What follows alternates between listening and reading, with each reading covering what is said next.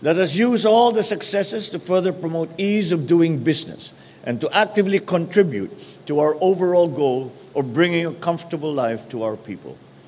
I likewise encourage you to continue the digitalization of your services and further invigorate the advocacy for sustainable finance and good corporate governance. I know that I can count on you, uh, uh, for each of you, to, to help promote our country as an investment destination, one that is safe, that is orderly and proactive, and one that can uphold the rights and welfare of our investors and consumers to their mutual benefits. With programs such as eSecure, eSearch, eRamp, and SEC Check App, the, the SEC continues to be a reliable partner to our efforts to digitalize